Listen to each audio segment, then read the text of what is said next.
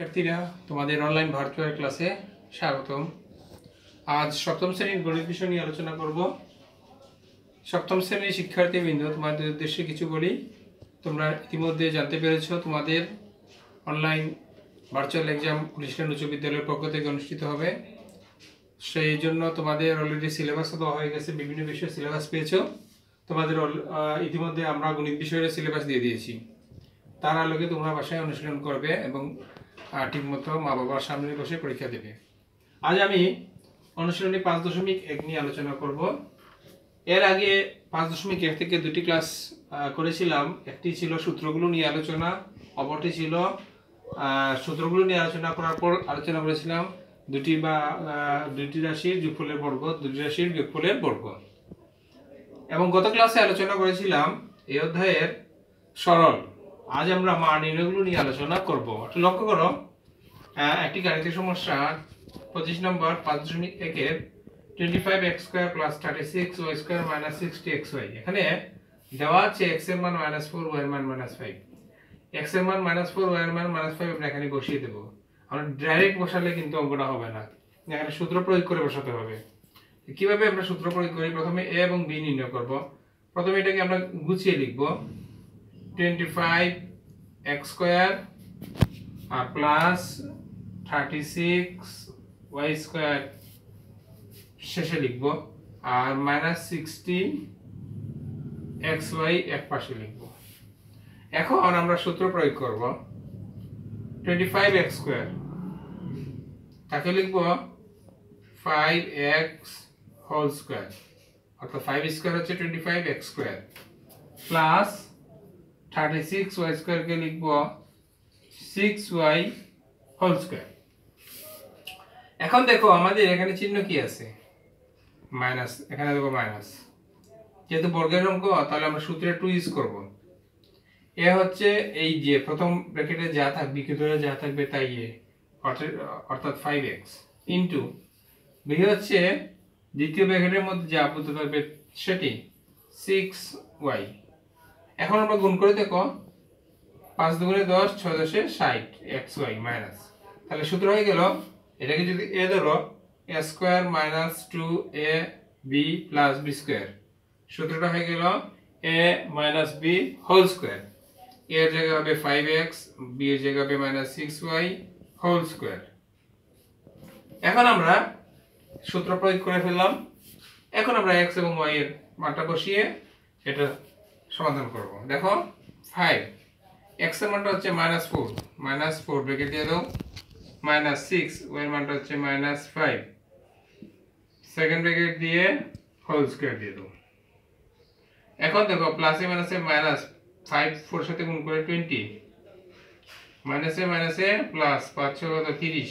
Whole square ঠিক আছে? চার পাঁচ বিশ, পাঁচ ছ তিরিশ। আর মাইনাসে মাইনাসে হয়ে গেল প্লাস এই থার্টি এবং টোয়েন্টি যোগ করলে হয়ে যাবে ফিফটি হোল স্কোয়ার তিরিশ আর বিশ কত পঞ্চাশ? পঞ্চাশে হোল স্কোয়ার এর অর্থ হচ্ছে পঞ্চাশ দুইটা গুণ। পঞ্চাশ গুণ পঞ্চাশ। দেখো দুটো শূন্য গুণ করলে ডাবল শূন্য, পাঁচ পাঁচ পঁচিশশো। তাহলে আমাদের ফাইনাল আনসার হয়ে গেল টু ফাইভ জিরো জিরো এটি যেটা আনসার কীভাবে আমরা এই সূত্র প্রয়োগ করে মান নির্ণয় করলাম? দেখতে পেলাম। আমরা আরেকটি গাণিতিক সমস্যা করি। তাহলে এটা ভাষায় ভালো করে অনুশীলন করবে। নেক্সট গাণিতিক সমস্যাটা দেখি। দেখো, আরেকটি গাণিতিক সমস্যা আমরা ইউজ করি, এই সূত্রের আলোকে। ছাব্বিশ নম্বর গাণিতিক সমস্যাটা।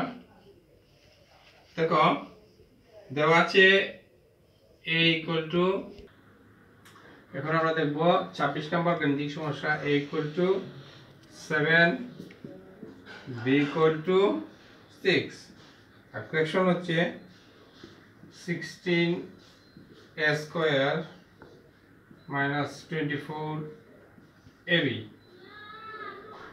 plus nine b square এটার মান নির্ণয় করব এখন। দেখো, এটা সাজিয়ে দেওয়া আছে, আমাকে সাজাতে হবে না।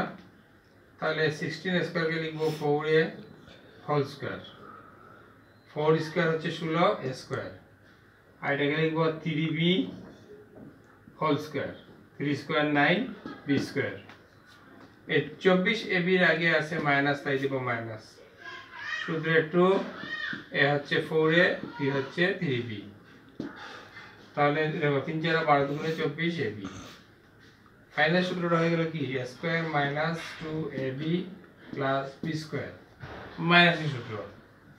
A minus b whole square এখন আমরা এর মান এবং বির মান বসিয়ে দেব। কখনো মনে রাখবে এ এবং বি বা যে কোনো রাশি থাকুক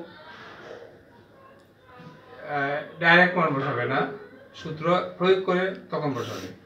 ফোর, এ হচ্ছে seven into seven minus three b হচ্ছে সিক্স